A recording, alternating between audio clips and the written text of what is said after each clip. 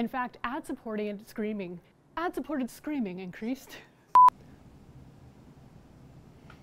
All right, video two, take six.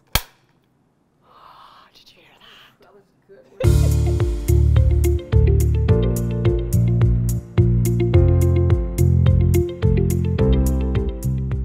With soaring viewership and increased investment from marketers, connected TV, or CTV, is the media industry's latest success story.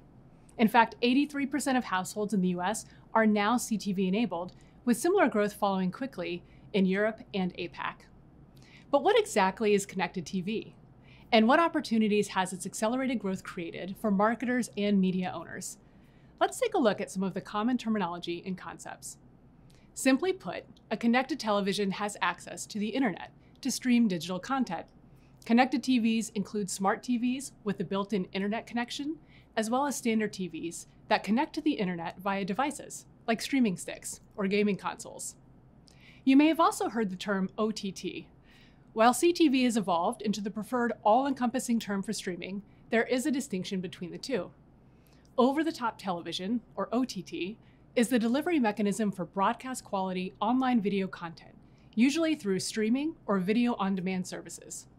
Content is delivered over the top of traditional network providers. If you're watching Netflix on your phone, you're streaming OTT content.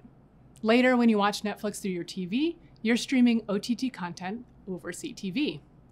This is in contrast to what's commonly referred to as linear TV, or the traditional method of broadcasting content at a set time via cable and satellite TV providers.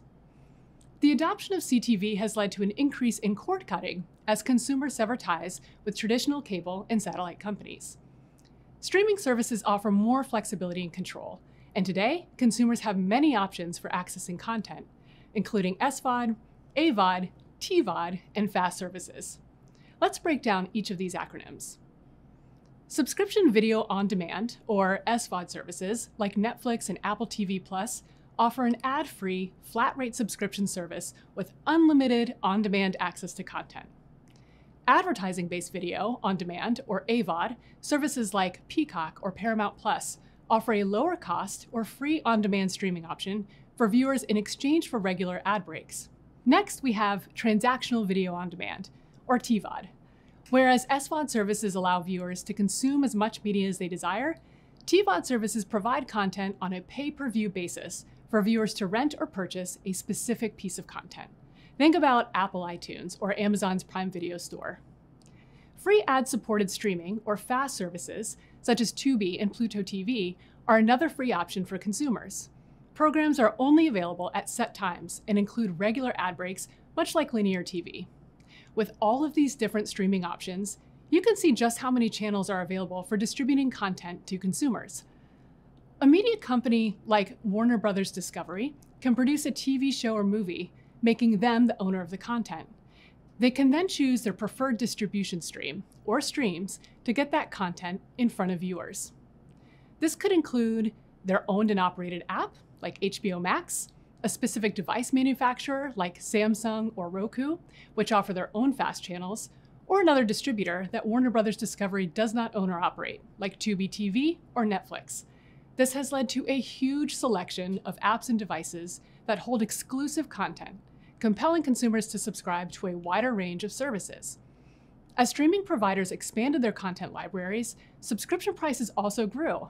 We've now reached an inflection point where consumers have maxed out the number of subscriptions they're willing to pay for. This makes ad supported content a necessary and massive opportunity. In fact, ad supported streaming increased by 29% between 2020 and 2022, totaling 77.7 million US households compared to non ad supported streaming, which grew more slowly at 21%.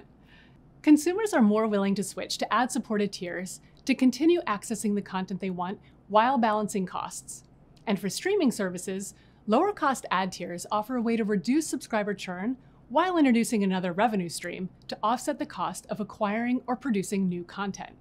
We've seen this in action with the likes of Netflix and Disney opening their platforms to advertising and adding AVOD options.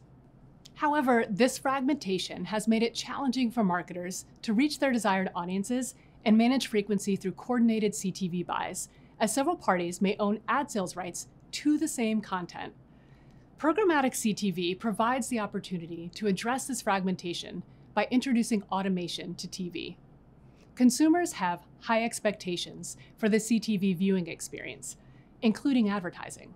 Programmatic technology allows marketers to activate data driven campaigns and reach a specific audience with the relevant message. And relevant ads lead to a better, less intrusive viewer experience. Programmatic TV is also breaking down the barrier of large upfront TV budgets and allows for a greater range of brands to invest in the big screen. Finally, buying TV programmatically also allows marketers to be more nimble compared to linear TV. It expedites the time needed to activate a campaign, and it allows marketers to continually optimize against key performance metrics while gaining incremental reach across traditional TV buys. This landscape can feel complex, so we hope this has provided you with a solid foundation to connected TV.